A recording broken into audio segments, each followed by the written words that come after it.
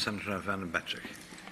That's like and uh, just, I'd just like to ask the leader that uh, we might, after Easter, at some point, have a debate in this House on, uh, method, uh, on the best means of tackling issues around sexual harassment, uh, particularly sexual harassment in the workplace. And I say this because we've got a survey on, ongoing at present, which members will be aware of, as we've all been emailed about it, um, initiated by the Women's Caucus, seeking to uh, discover the extent to which harassment is an issue in the workplace, that is the Oireachtas, the House of the Oireachtas. Uh, first time that such a survey has been carried out in the Oireachtas, so it's very important that we do that, that uh, we get a, a wide range of, of participants, that we get um,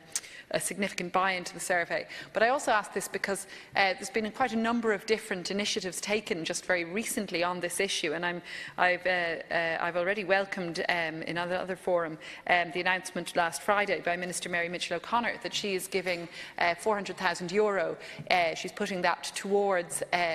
funding for supports to uh, deal with sexual harassment in third level in higher education institutions. And this builds on work been being done by the National Women's Council of, uh, Council of Ireland, which obtained uh, significant funding from the EU to, uh, to look comparatively at sexual harassment in academia across five different EU member states. And um, They've la they launched just in March of this year a very useful toolkit called It Stops, hashtag It Stops Now, really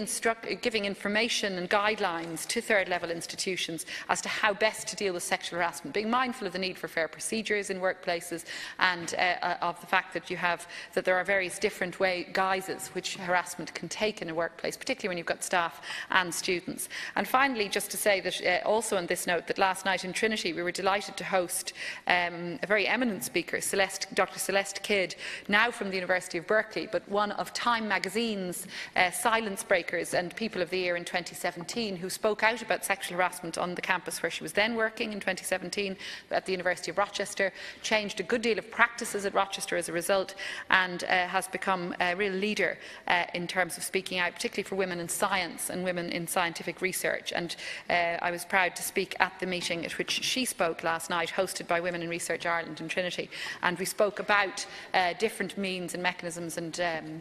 uh, and strategies that can be used in, in higher education to tackle sexual harassment. But clearly this is an issue that goes beyond colleges and I would like, Leader, that we might have a debate on this uh, in, in, at some point after Easter. Could I also welcome the fact that we will be debating the divorce bill today um, and I know we'll have a chance to debate that uh, uh, later on this evening. But just to say, I, I'm sorry we're not going to be debating more extensive constitutional amendments to Article 41. I would have liked to see us debate not only a change in the waiting time uh, in the, in the lead up uh, for divorce, but also a change to the definition of family so that we no longer define family as that based upon marriage only. And I'd also, of course, like to see us deleting the provisions relating to women and mothers that uh, have such, use such loaded and sexist language and instead to see uh, gender-neutral language used in the Constitution. So I'm sorry we won't have that more extensive reform before us this evening, but I do welcome the, the, the bill we have. And finally, just to uh, agree with the previous speakers on the issue of the Israeli elections and uh, on the need for parliaments around the world to speak out where we see abuses of power and abuses uh, of uh, human rights occurring. And certainly,